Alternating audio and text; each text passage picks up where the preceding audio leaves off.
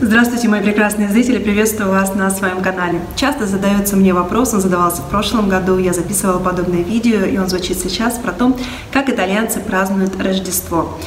Расскажу в этом видео, как итальянцы празднуют Рождество, но я думаю, что это видео будет интересно прежде всего мамам маленьких детей, мамам, которые слегка устали, устали от своих материнских будней, мамам, у которых дети, возможно, еще не пошли в детский сад, но вот-вот им исполнится три года, и действительно вздохнется несколько легче, чем дышалось до этого, потому что когда рождается ребенок, тем более, когда рождается один за другим, а действительно твоя жизнь, она вот так, и ты, и ты сама вот так.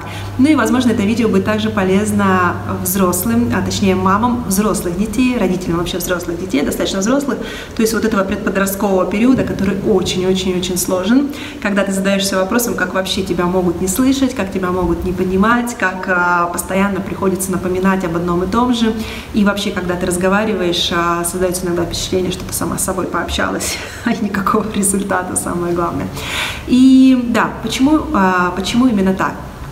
Я рассказывала, как я однажды побывала совершенно случайно. На самом деле я не посещаю родительские собрания, прежде всего, потому что они в Италии проходят 9 часов вечера. Это очень неудобно. Мне детей нужно укладывать спать, их нужно мыть, их нужно кормить.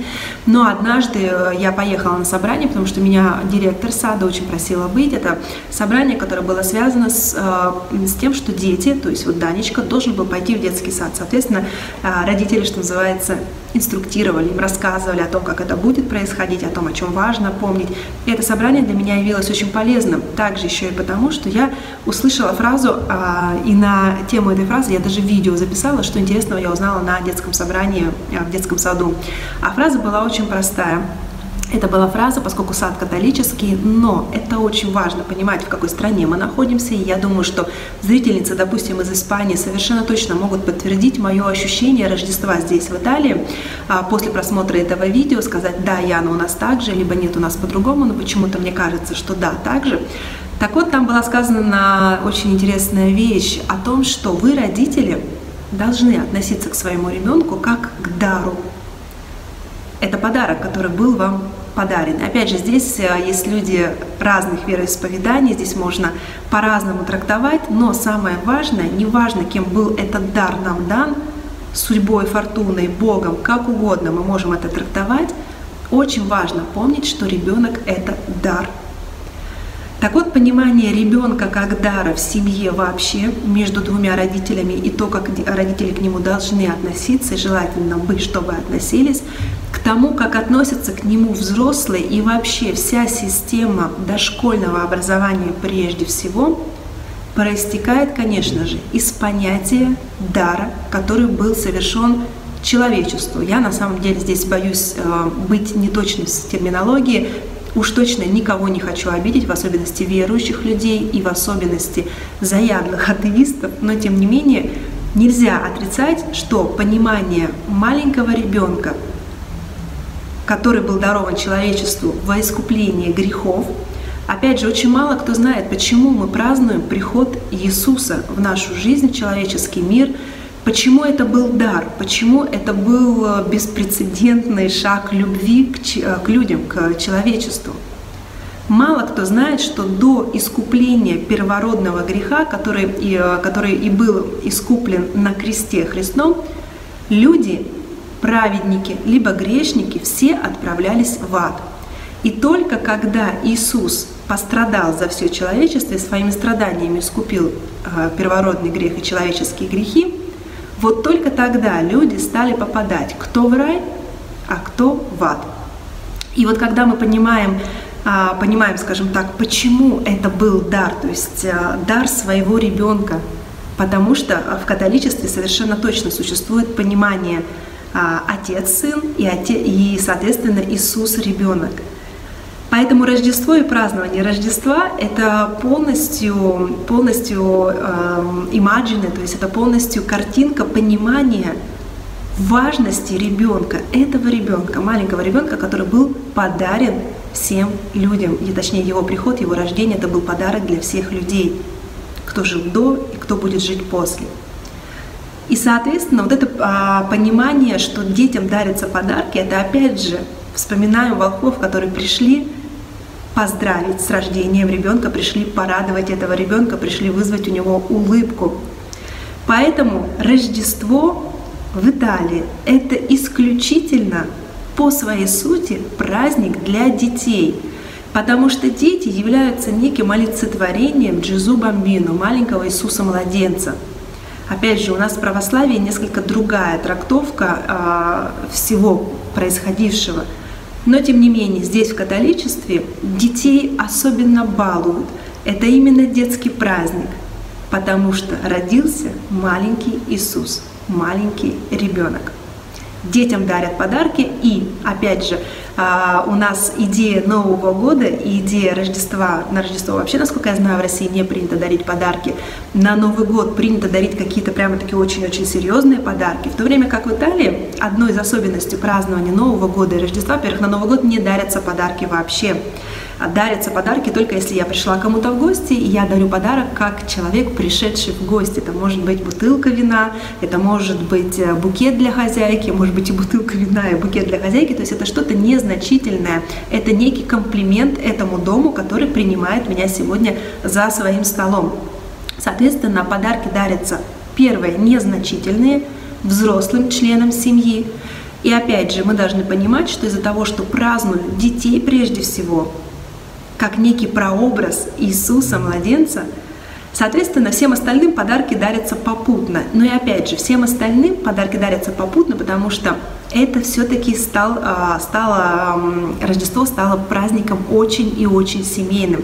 В Италии есть пословица «Il Natale con i tuoi», то есть Рождество ты проводишь с твоими, с твоей семьей, Capodanno con chi vuoi, то есть а, Новый год, Каподанно, с кем хочешь, можешь праздновать.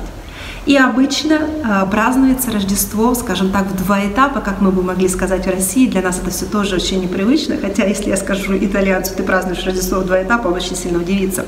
Есть рождественский ужин, который накануне Рождества происходит. И есть рождественский обед, который происходит уже непосредственно 25 декабря. Обычно семья отправляется к родителям мужа накануне, то есть получается на рождественский ужин, и к родителям жены, либо невесты, если еще э, не оформлен брак, а, на непосредственно рождественский обед. То есть э, в Италии принято проводить и рождественский ужин, и рождественский обед.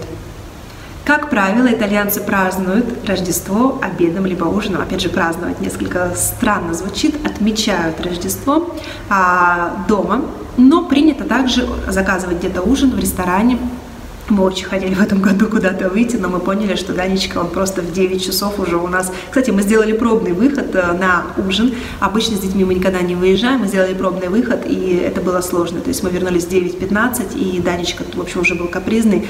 В 9.20 он уже, в общем-то, лег в постель и тут же за 3 минуты заснул. Соответственно, в этом году мы тоже будем праздновать Рождество, отмечать Рождество будем за, рожде... за рождественским столом вечером. Есть ли особенность меню? Да, я знаю, что есть особенность меню, она связана с рыбой каким-то образом, но честно не могу сказать, как, а, как обстоят, а, какие блюда конкретно являются характеристикой рождественского обеда либо рождественского ужина, ужина, но это связано с рыбой. И я думаю, что у нас в России тоже есть какие-то подобные ограничения, что называется, до первой звезды, если я не ошибаюсь. А возможно, я ошибаюсь, поэтому да, есть а, какие-то характеристики с рыбой, с мясом, если я не ошибаюсь. Все-таки рыбу едят на ужин, и мясо можно уже есть на рождественский на рождественский обед. Подарки. Какие подарки дарятся? Как я уже сказала, незначительные подарки дарятся взрослым членам семьи. Это может быть что-то нужное в быту, это может быть пара носков, это может быть какой-нибудь халат, либо спортивный костюм. То есть вот действительно что-то номинальное, ни о каких подарках в виде украшений, в виде, допустим, дорогой сумки речи не идет. Все эти вещи в Италии дарятся, как правило, на день рождения, либо они могут дариться на какое-то событие, например, свадьба. А свадьба дочери ей могут подарить очень хороший подарок, например, сумку, о которой она мечтает, либо какое-то украшение, возможно, даже семейное, либо а, очень часто делаются очень серьезные подарки со стороны семьи, когда человек получает лаурея, то есть когда он дипломируется, становится дипломированным специалистом, он, он выпускается из университета. В Италии выпуститься из университета – это очень серьезное событие. А, учиться в Италии, как я думаю, во всей Европе достаточно сложно. Это очень серьезный процесс. Сдать сессию также очень сложно, поэтому очень часто а, какие-то именно серьезные в нашей нашем российском понимании подарки делаются на эти случаи, но никак не на Рождество. Новый год, повторюсь, никак не отмечается подарками ни взрослым, ни детям, также еще и потому, что есть в Италии праздник Бефания.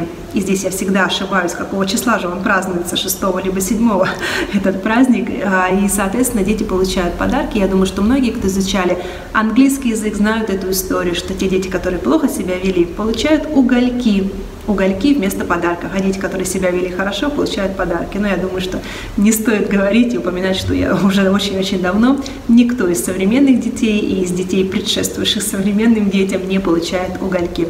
Вот таким я вижу Рождество в Италии, э, глазами прежде всего человека, который большую часть своей жизни Рождество, конечно же, не отмечал. И до определенного, до определенных лет вообще не знал о существовании вообще не знал о существовании этого праздника. Всем желаю предновогоднего настроения, праздничного настроения. Неважно, когда вы будете отмечать Рождество. До Нового года, либо после Нового года. Это была Яна Скворцова. Всем пока-пока.